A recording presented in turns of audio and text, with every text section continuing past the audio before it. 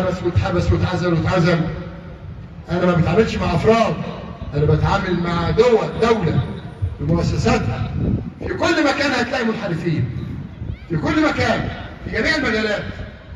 إنما إحنا استلمنا فين فين المحضر؟ أنت مش راجل.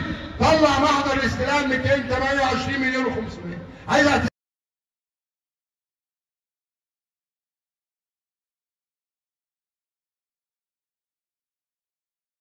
عاجل معاقبة سيد عبد الحفيظ بسبب فيديو أو أح سيد حطه صح. شاهد أول تصريح من محمود الخطيب بعد شتيمة الجماهير لمرتضى منصور. السلام عليكم لطفا. قبل أن نبدأ لا تنسوا أن تعطروا فمكم بالصلاة على النبي. ولا تنسوا أن تضغطوا لايك واشتراك في القناة وتفعيلوا زر الجرس.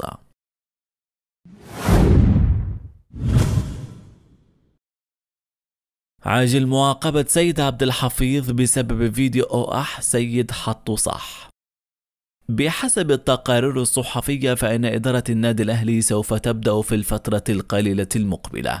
المفاوضات مع نظيرتها في فيوتشر من أجل التعاقد مع محمد رضا بوبا وأشارت التقارير الصحفية إلى أن محمد رضا بوبا يرحب بفكرة الانتقال لصفوف النادي الأهلي في الموسم المقبل. وكان نادي فيوتشر رفض بيع محمد رضا بوبو لصفوف النادي الأهلي في يناير الماضي بعدما طلب الحصول على 45 مليون جنيه الذي جعل إدارة الشياطين الحمر ترفض دفع هذا المبلغ الذي رأت بأنه مبالغا فيه. ويدعو مسؤولون النادي الأهلي محمد رضا بوبو على رأس أولويات النادي لتدعيم وسط الفريق هذا الصيف بعد اقتراب حمدي فتحي من الانتقال لصفوف الوكر القطري مقابل ثلاثة ملايين دولار. ووجه مجلس إدارة النادي الأهلي ضربة قوية إلى الأندية الخليجية وذلك بعد الاتفاق بشكل نهائي وحاسم مع حسين الشحات على التوقيع لمدة ثلاثة مواسم. شاهد أول تصريح من محمود الخطيب بعد شتيمة الجماهير لمرتضى منصور.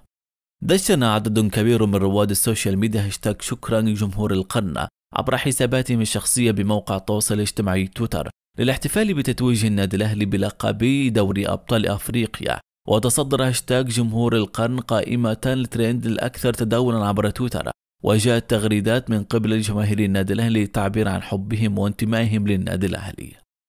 شاهد بالفيديو تعليق مرتضى منصور على شتيمته من جماهير النادي الأهلي. وافق مسؤولو النادي الأهلي على رحيل حمدي فتحي لاعب الفريق الأول لكرة القدم بالقلعة الحمراء وذلك بعد تلقيه عرضا مغريا من قبل أحد الأندية القطرية. من أجل التعاقد معه خلال فترة الانتقالات الصيفية المقبلة. لا سيما أن اللاعب أثبت جدارته بشدة بعد المشاركة مع الفريق الأحمر في المباريات المحلية والقارية. وكشفت مصادر مسؤولة داخل النادي الأهلي كواليس راحل حمدي فتحي عن الفريق الأحمر. والفرمان الصادر من قبل السويسري مارسيل كولر بشأن التعاقد مع بديل قوي للاعب خلال فترة الانتقالات الصيفية المقبلة.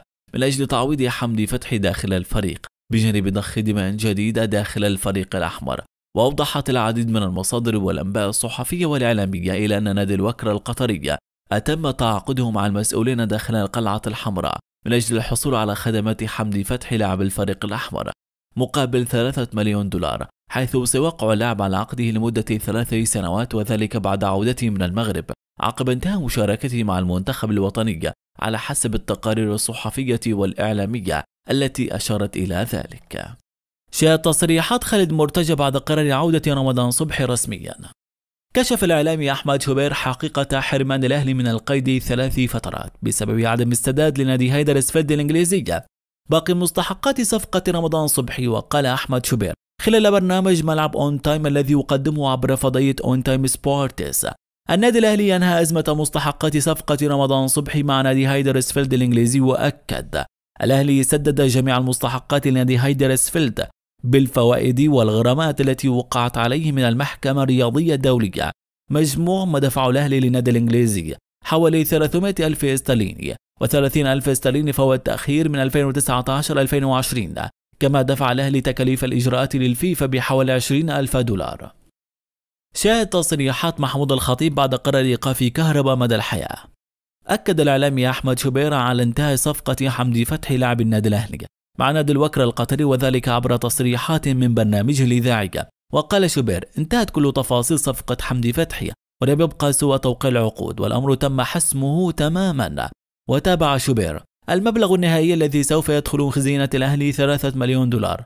ويرغب حمدي فتحي في الرحيل عن الأهلي بسبب العرض المادي الكبير من الوكرة القطرية خاصة أنه يحصل مع الأهلي على ثمانية ملايين جنيه بينما يصل العرض القطري إلى 90 مليون جنيه مصري. ويعيش اللاعب حالة من النضوج الكروي والتألق وهو الوقت المناسب لرحيله خاصة أن هناك البديل القوي لحمدي فتحي في الأهلي سواء السولية أو ديانج أو مروان عطية. شاهد أول تعليق من محمود الخطيب بعد قرار إيقافه من الفيفا.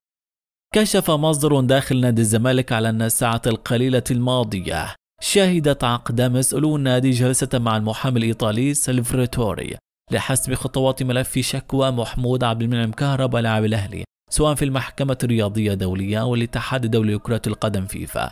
وأوضح المصدر لوطن سبورت أن الاجتماع شهد الحديث عن موعد وخطة التصعيد بعد عدم الحصول على الغرامة المستحقة للزمالك من اللاعب. وأشار إلى أنه تم مناقشة كافة الاقتراحات منها تأجيلا لتقديم شكوى جديدة ضد اللاعب حتى يصدر قرارا بإيقاف كهرباء منذ بداية الموسم. واختتم أيضا أن إدارة القلعة البيضاء لم تخاطب الفيفا بعد انتهاء المهلة حيث أنه كان من المفترض أن يرسل الزمالك اختارا يفيد بعدم سدد كهرباء للغرامة حتى يتم إيقافه لمدة ستة أشهر. إلا أن إدارة الزمالك لم تقم حتى هذه اللحظة بالإخطار ورفضت إرسال الإخطار لفيفا. بالفيديو تصريحات مبكية من والد محمود عبد المنعم كهرباء بعد إيقاف ابنه. كشف عمرو السلية لاعب وسط النادي الأهلي عن مستقبله مع الفريق الأحمر خلال الفترة المقبلة. وقال عمرو السلية في تصريحات تلفزيونية اليوم إنه يرغب بالاعتزال بقميص النادي الأهلي وهو تحت أمر الفريق في أي وقت. وشدد عمرو السلية على أنه في حال رحيله عن النادي الأهلي بموافقة الإدارة. سوف يعود من أجل الاعتزال بقميص الشياطين الحمر وأوضح عمرو السلية أن الفريق بالكامل كان واثقا أمس بتحقيق لقب دوري أبطال أفريقيا رغم التأخر بهدف ضد الوداد المغربي. مشيرا إلى أنه حزين لما فعله بعد نهاية الموسم الماضي. يقصد إلقاء الميدالية الفضية على الأرض وتابع عمرو السلية أنه يحترم رأي المدير الفني السويسري مارسيل كولر بخصوص مشاركته رغم أنه حزين بسبب ذلك ولكن ذلك لا يؤثر على أمنياتي للفريق بالتوفيق. بالفيديو فوزي الأقجع يعلن تغريم الأهلي وإيقافه قيده بسبب محمود كهرباء يسعى المدرب السويسري مارسيل كولر مدرب الفريق الأول لكرة القدم بالنادي الأهلي. والآن أعزائي المشاهدين أعتقد أننا وصلنا إلى نهاية الحلقة. ولكن قبل أن أنهي حديثي سأطرح عليكم سؤال. وأتمنى منكم المشاركة بآرائكم في التعليقات. ما هو سبب ما يحدث مع النادي الأهلي من تصرفات واضحة كظلم للنادي؟ لا تنسوا أن تشاركونا بآرائكم في التعليقات ولا تنسوا أن تضغطوا لايك أسفل الفيديو من أجل دعمنا. وفي النهاية أتمنى منكم الاشتراك في القناة وتفعيل زر الجرس لكي يصلكم كل جديد أولا بأول. وقبل أن ننهي الفيديو كالعادة لا تنسوا الصلاة على النبي.